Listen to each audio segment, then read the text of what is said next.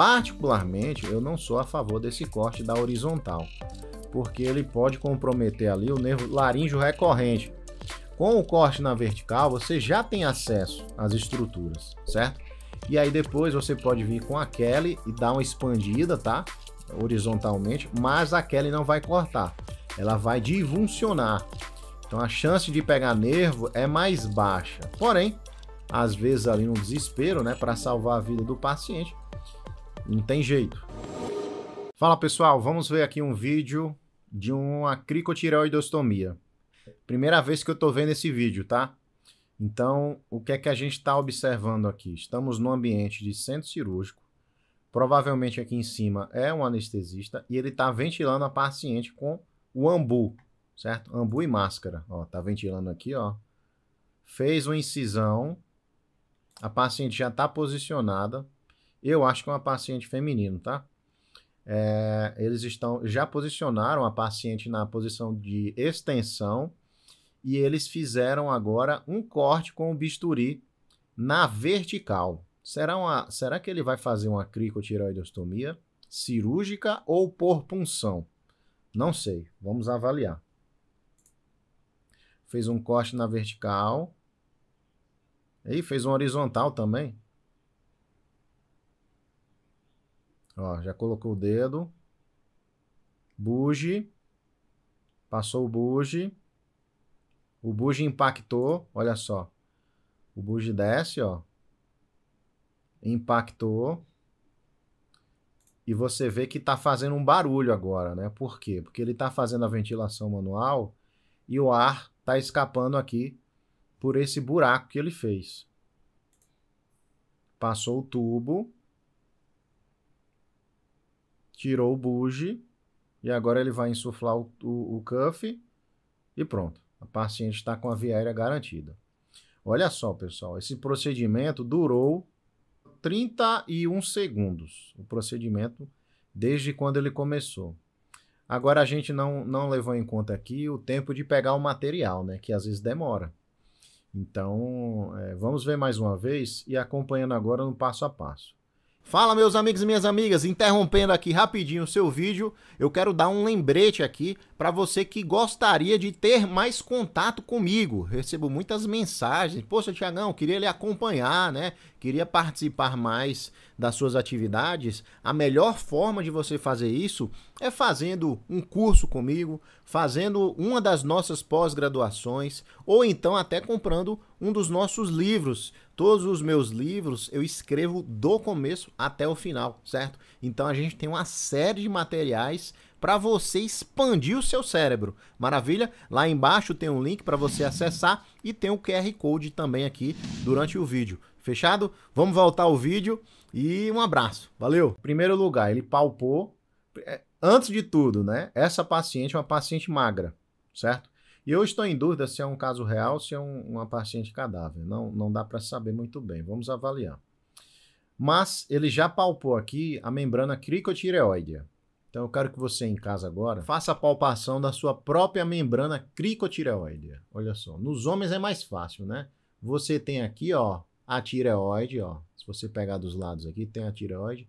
Tem o pomo de Adão, que fica mais ou menos aqui nessa região, ó, a protuberância. E depois, se você descer, você vai sentir que tem um buraquinho aqui. Pomo de Adão, na verdade, meu pomo de Adão é aqui em cima. Ó. Se você sentir cartilagem tireoidea, vai descendo e aí chega um momento que tem um buraquinho aqui.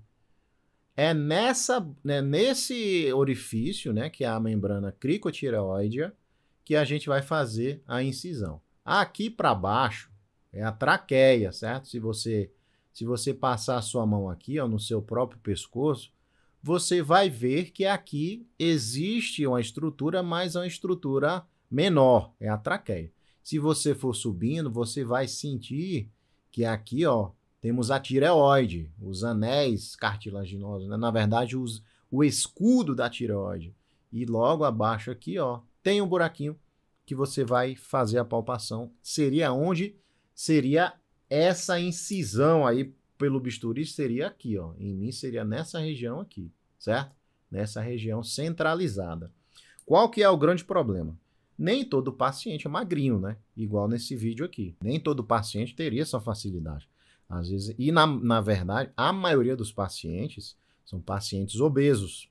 Eu acho que isso aqui é um cadáver, tá, pessoal? Porque eles já colocaram duas câmeras aqui, uma, uma de frente, uma de lado. Eu acho que isso aqui é apenas uma simulação. Mas tudo bem. Primeiro ele fez um corte na vertical, certo? Aí ele fez um corte na horizontal. Particularmente, eu não sou a favor desse corte da horizontal porque ele pode comprometer ali o nervo laríngeo recorrente. Com o corte na vertical, você já tem acesso às estruturas, certo?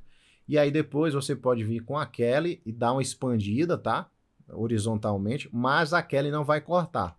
Ela vai divulsionar. Então a chance de pegar nervo é mais baixa. Porém, às vezes ali no desespero, né, para salvar a vida do paciente, não tem jeito. É, mas só com a experiência que eu tenho, né, e, e, de ensinar outros colegas, só o corte da vertical já é suficiente. Aí ele colocou o bujo. Uma etapa muito importante, pessoal, é essa de colocar o dedo, tá?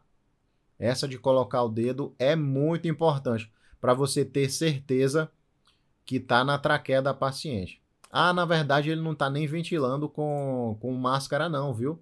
Ele passou uma máscara laríngea. Não tá com máscara facial, não, tá com máscara laríngea.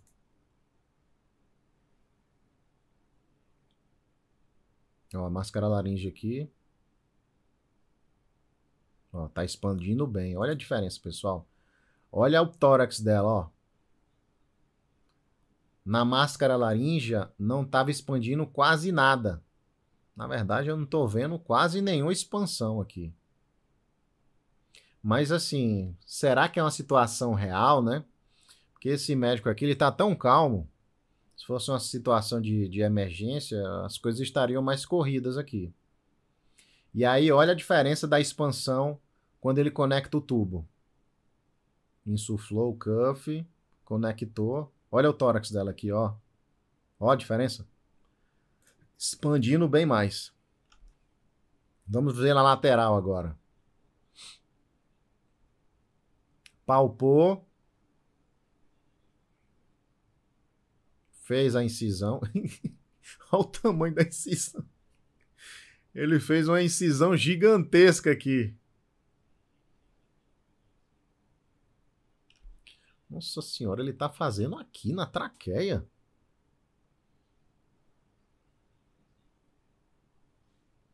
Ele. É, tá, tá, tá correto, tá correto porque o pescoço da paciente é longo. Cuidado para não fazerem aqui embaixo, tá, pessoal? Olha a diferença da expansão agora. Então, é um caso, sim, aí a gente vai falar quando quando que nós vamos fazer essa essa técnica. Imagine que você está numa situação de intubação orotraqueal. E aí você não conseguiu fazer a intubação desse paciente. Quando você percebe que a intubação não teve sucesso, você vai olhar para o monitor, tem um monitor aqui, uma televisão, e você vai ver a saturação do paciente. O paciente está com uma boa saturação? Sim, beleza, você pode fazer uma nova tentativa de intubação orotraqueal. O paciente está desaturando, você irá progredir para a ventilação com máscara. Iambu, falha na intubação, ventilação com máscara. Iambu, beleza. Você tentou fazer a ventilação com máscara Iambu e não deu certo. Ou seja, você tem que partir para o próximo passo, que é a máscara laríngea, que era o que a paciente estava lá na, no, no vídeo que a gente viu.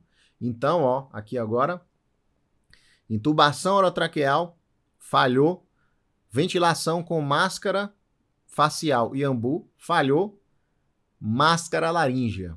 E aí, caso a máscara laríngea não dê certo, você finalmente vai partir para a cricotireoidostomia, que foi esse procedimento que nós vimos agora.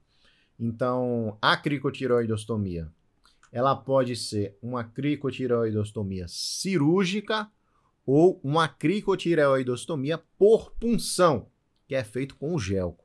A cirúrgica é a melhor em termos de dar ventilação. Por quê?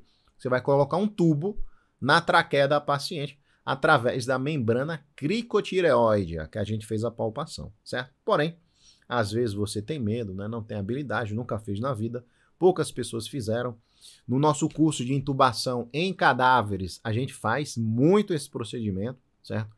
É um curso que é feito duas vezes ao ano, aqui em São Paulo, e os alunos saem fera na, no curso de intubação em cadáveres. Então, se você tem interesse, é, fica a dica aí para você melhorar essa habilidade, tá?